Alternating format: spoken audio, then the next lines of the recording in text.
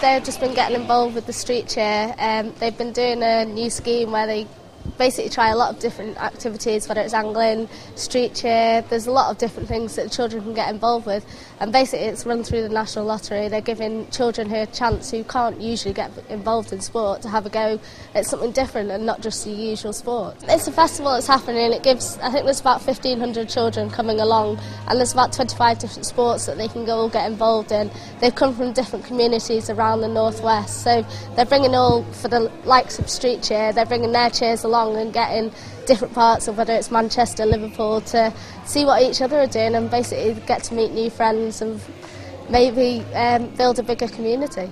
The aim is to give people the opportunity to take part in a sport and activity, uh, get into something they like, stay fit and healthy, have a good time, and hopefully come and do something they want to keep doing after uh, for the rest of their lives. We want to focus on traditional and non-traditional sports and sports that young people want to do that they play in the parks and in the street themselves, sort of youth culture sports. And anyone can come and get involved in, in the areas that take part. We do have competition. One of the years we did it, we did it as non-competitive, and the feedback we got from young people and the workers was we want competition.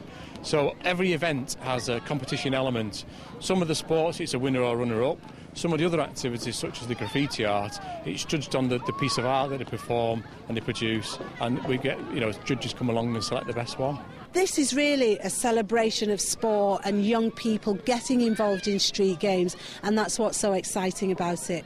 I think this is a fantastic opportunity, isn't it, really, for any young people living in the northwest area to be able to come and do sport in the facilities that we have. StreetGames are the only national charity that delivers sport to young people growing up in disadvantaged communities. There's nothing else like us, and so that's why we are so important. When I started at about the age of 11, of course, there was nothing like StreetGames that existed.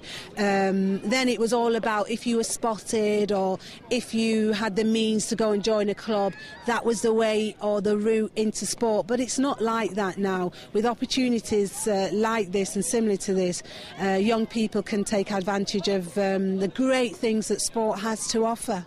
It's really amazing because, for example, being here today, the enthusiasm, the genuine enthusiasm from the kids is really heartwarming and inspiring. I've just been chatting to a group of young girls and boys who are saying, This is brilliant, we love this, I've been doing this for quite a while and I can't wait to get going. And can I have a race with you? And how fast are you? And what are you doing today? Can I do that too? They are so keen to get involved, which is brilliant brilliant.